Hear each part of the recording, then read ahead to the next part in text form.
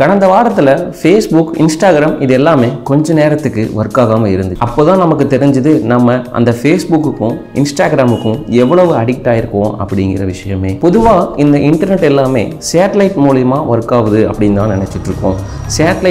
ஒரு டவருக்கு வந்து டவர்லேருந்து நமக்கு வருது அப்படின்னு நம்ம நினச்சிட்டு இருக்கோம். இந்த இன்டர்நெட் எல்லாமே சேட்டலைட் மூலிமா ஒர்க் ஆகுற மாதிரி இருந்துச்சு அப்படின்னா அதிகமான ஸ்பீடையும் டேட்டா அக்யூரேசியும் நம்மளால் எடுக்க முடியாதுங்க. இதனால தான் கடலுக்கு அடியில் ஒரு கேபிள் போட்டு இது மூலியமா தான் வேர்ல்டில் இருக்க எயிட்டி பர்சன்ட் டேட்டா டிரான்ஸ்ஃபர் நடக்குதுங்க. இந்த கேபிள் எப்படி ஒர்க் ஆகுது? இந்த கேபிளுக்கும் ஃபேஸ்புக் கிராஷ் ஆனதுக்கும் என்ன சம்மந்தம் அப்படின்னு தானே நீங்கள் கேட்குறீங்க ரெட் சி கேபிள் பற்றி தான் நாம இன்னைக்கு இந்த வீடியோவில் பார்க்க போகிறோங்க பொதுவாக இந்த கடலுக்கடியில் உலகம் முழுக்க எல்லா கண்ட்ரியும் இணைக்கிற மாதிரி நிறைய கேபிள் இருக்குங்க. இதில் முக்கியமான கேபிள் என்னன்னு பார்த்தீங்கன்னா யூரோப் கண்ட்ரியும் ஏசியன் கண்ட்ரியும் இணைக்கிற இந்த ரெட் சி வழியாக போகிற ரெட் சி கேபிள் தாங்க. இந்த கேபிளில் தான் எயிட்டி பர்சன்ட் டிரான்ஸ்ஃபர் யூரோப்பையும் ஆசியாவையும் இணைக்குதுங்க. இது செங்கடல் வழியாக போகிறனால இதுக்கு ரெட் சி கேபிள் அப்படின்னு நேம் வச்சிருக்காங்க. இந்த செங்கடலை நம்ம ஹிஸ்ட்ரி புக்கில் படித்த மாதிரி ஞாபகம் இருக்கா?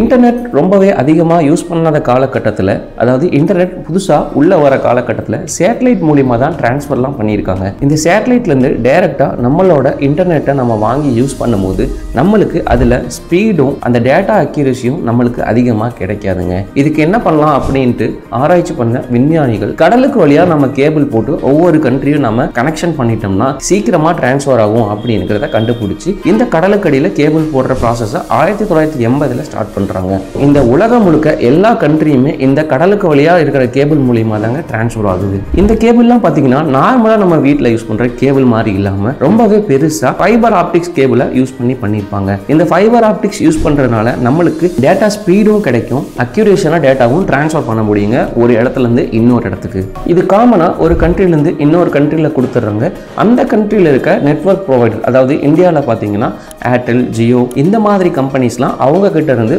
வாங்கி இன்டர்நெட்டை நம்மளுக்கு ப்ரொவைட் பண்ணுறாங்க ஜியோ கம்பெனி பார்த்தீங்கன்னா இந்தியா முழுக்க குழியை பொறிச்சு ஒரு கேபிளை பதிச்சாங்க. கேபிளை பதிச்சுட்டு நார்மலாக இப்படி இருந்த டவரை இப்படி மாற்றினாங்க இது இன்ஸ்டாலேஷன் பண்ணதுக்கப்புறம் தான் இந்தியாவோட டேட்டா ஸ்பீடு ரொம்பவே அதிகமாயிடுச்சுங்க. சரி இதுக்கும் ஃபேஸ்புக் கிராஷ் ஆனதுக்கும் என்ன சம்மந்தம் அப்படின்னு தானே யோசிக்கிறீங்க? இந்த ரெட் சி வழியாக ஃபேஸ்புக்கும் அவங்களோட கேபிளை பதிச்சு வச்சுருக்காங்க. ஃபேஸ்புக் மட்டும் இல்லைங்க கூகுள் போன்ற அதிகமாக டேட்டா வச்சிருக்க அதாவது சர்வரோட கனெக்ட் பண்ணுறதுக்காக இந்த ரெட் சி வழியாக கேபிளை அவங்க பாஸ் பண்ணுறாங்க கடந்த வாரத்தில் இந்த ரெட் சி வழியா போகிற நாலஞ்சு கேபிளை யாரோ ஒருத்தங்க கட் பண்ணி விட்டுறாங்க. இது வழியாக தான் ஏசியாவுக்கும் மற்ற கண்ட்ரீஸுக்கும் எயிட்டி பர்சன்ட் டேட்டா டிரான்ஸ்ஃபர் ஆகுது அப்படின்னு நம்ம பார்த்தோம். இந்த கேபிளை கட் பண்ணதுனால பெரும்பாலான சர்வர் வந்து டவுன் ஆயிடுச்சுங்க. இதனால ஃபேஸ்புக்கும் இன்ஸ்டாகிராமும் ரொம்பவே அதிகமாக பாதிச்சிருச்சுங்க. இது ஒரு குறிப்பிட்ட காலத்துக்கு கட் ஆனதும் உடனே அதை சரி பண்ணுறதுக்கு டீம் அனுப்பிச்சு அதை சரி சரியும் பண்ணிட்டாங்க. ஆனால் இந்த கட்டான கேப்பில் தான் நம்ம உணர்ந்திருப்போம். ஃபேஸ்புக்கும் இன்ஸ்டாகிராமுக்கும் நம்ம எந்த அளவுக்கு அடிக்ட் ஆயிருக்கோம் அப்படின்னு. இதுக்கு அடுத்து மிகப்பெரிய ஒரு விஷயம் நடக்க போகுது. சூரிய புயல் சூரியன்லேருந்து வெடித்து ஒரு புயல் வந்து பூமியை தாக்கும் அப்படிங்கிற மாதிரி ப்ரெடிக்ஷன் பண்ணியிருக்காங்க. இதை பற்றி நம்ம அடுத்த வீடியோவில் பேச போகிறோம் மறக்காமல் நம்ம சேனலை ஃபாலோ பண்ணிக்கோங்க. இந்த ஒரு மணி நேரம் கட் ஆனதுனால ஃபேஸ்புக்கு சுமார் இருபத்தையாயிரம் கோடி வரைக்கும் லாஸ் ஆகிருக்குங்க இவரோட சொத்து மதிப்பும் கீழே இறங்கியிருக்குங்க. ஆனால் இதனால நம்மளுக்கு எந்த லாஸும் கிடையாது. ஜஸ்ட் ஒரு ஒன் ஹவர் நம்ம பதறி போயிருப்போம். அவ்வளவுதான். இது பற்றி நீங்கள் என்ன நினைக்கிறீங்க அப்படின்னு மறக்காமல் கமெண்ட்டில் சொல்லிட்டு போங்க. யூஸ்ஃபுல்லான வீடியோக்கு நம்ம சேனலை ஃபாலோ பண்ணிக்கோங்க.